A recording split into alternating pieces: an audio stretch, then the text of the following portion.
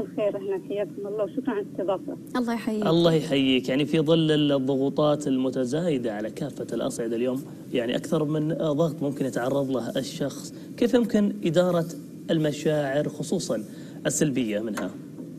نعم، وجود طبعا هذه المشاعر السلبية شيء طبيعي، إحنا اللي خوفنا إننا ما إحنا قابلين أو نشعر إنه شيء مو طبيعي، وصحي بنفس الوقت لأنه تفيدنا بعدة نقاط. مثلا تنبهنا أن في احتياجات بشرية طبيعية ما هي ملبة. يعني أنا لو ما شعرت بهذه الأشياء ما أدري مثلا إذا شعرت بالوحدة فأنا أبغى تواصل إذا شعرت بالخوف فأنا أتعرض لشيء غير آمن وأحتاج السلامة.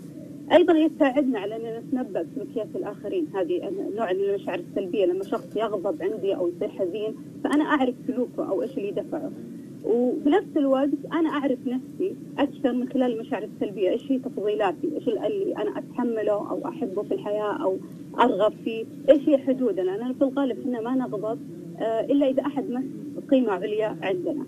عشان هذه الأشياء كلها مهم إني أعرف إدارة مشاعري السلبية، المشكلة أيضا اللي آه، تعيقنا كلنا وفي ظل الحجر المنزلي والجائحة هذه اللي صارت الضغوط اللي نتعرض له إننا نتصرف أحيانا بهذه الشعور السلبي. يعني إما نخاف من وجوده أو اننا نتطرف ناخذه زيادة يكون نمط حياة مثلا أنا دائما حزينة أو أنا دائما غاضبة فأنا ما ماني عارفة أعيش حياتي بشكل صحيح. وأيضا هي تأثر على قراراتنا اللي في مناسبه في العادة أو خياراتنا إذا كنا تحت مشاعر سلبيه صحيح. عشان كذا كله مهم إني أعرف أدير مشاعري السلبية. جميل. بس بعض المرات يعني من خلال كلامك أستاذة هند إحنا عشان نعرف ندير مشاعرنا السلبية لازم نفهمها. يعني بعض المرات الواحد يحس بمشاعر سلبية بس ما هو عارف هو متضايق أو معصب أو في تأثير خارجي آه، مثلا هو اللي تسبب في تغيير مزاجه. كيف الواحد ممكن يعرف ويسيطر على أفكاره آه، بحيث إنه يتحكم في هذه المشاعر. أيوه أول شيء لازم أنا أعرف آه، إيش جذور هذه المشاعر إيش اللي سببت لي هذه المشاعر السلبية. لأن هي المشاعر هي عبارة عن رسائل توصل لي إيش أنا أفكر فيه. إحنا في الغالب الآن ما نعرف إيش نفكر بالضبط بهذه اللحظة. آه، لكن شعوري هو يدل هل أنا خايفة؟ هل أنا محبطة؟ هل إيش السبب؟ السبب فكرة. فمن أهم جذور آه، آه، هذه الأفكار السلبية أو اللي تسبب لي إني أقارن نفسي بالآخرين. طبعا هذا يكون في شكل غير واعي يعني بالعمق. أنا اكون أقارن نفسي بآخر فبالتالي أشعر بشعور سلبي. أيضا حديثي الذاتي السلبي حول حول نفسي أو نقدي لنفسي عدم تقدير الذاتي يشعرني بشعور سلبي. عاد مختلف. ممكن إحباط ممكن عار ممكن شعور بالفشل.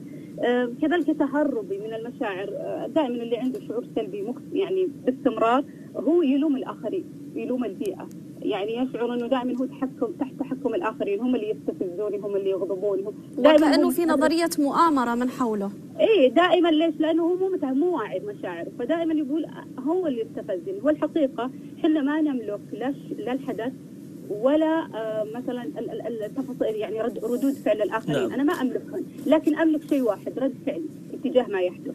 فالشخص الواعي أو المسؤول عن نفسه مشاعره كويسة في الغالب هو يتحكم برد فعله. جيد. أيضا تواجدي مع أشخاص سلبيين هذا يعزز من شعوري السلبي، لما يكون عندي أشخاص ناقدين أو غاضبين أو محبطين هذا ياثر أيضا على وجود يعني تحديدا حول هذه النقطة اليوم المواجهة ليست فقط فكرية دام أنك تحدثت عن أيضا ابتعاد عن السلبيين، إيش هي أبرز الأمور السلوكية اللي أواجه فيها المشاعر السلبية وأيضا يعني خلينا نتحدث شوي بشكل اجتماعي مع الناس لأنه ممكن يكون المحيط السلبي أشخاص قريبين يعني صديق قديم أو حتى ناس من العائلة فكيف يمكن أيضا إدارة هذه المشاعر تجاههم تفضلي.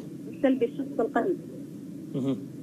نعم الشخص القريب هو اللي يسبب لي أو الضغوط أو الشعور السلبي دائما الاشخاص القريبين.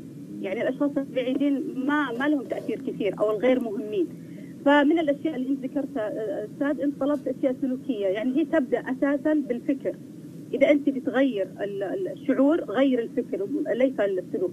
لأن هي العملية تأتي بان عندي فكرة سلبية. ظهرت لي شعور سلبي. أنا ما أعرف ليش أنا الآن حزينة. بعدين أروح أعمل أي سلوك ظاهري عشان أكون مثلا مرتاحة. من الأشياء اللي يأخذون الناس أو يعملونها اللي هي الإدمان، إدمان الطعام أو التسوق. هذا عندي أكثر طبعا التسوق. عشان أبغى أكون مشاعري كويسة أو أدخل في علاقات مثلا أو مثلا أعمل إدمان العمل.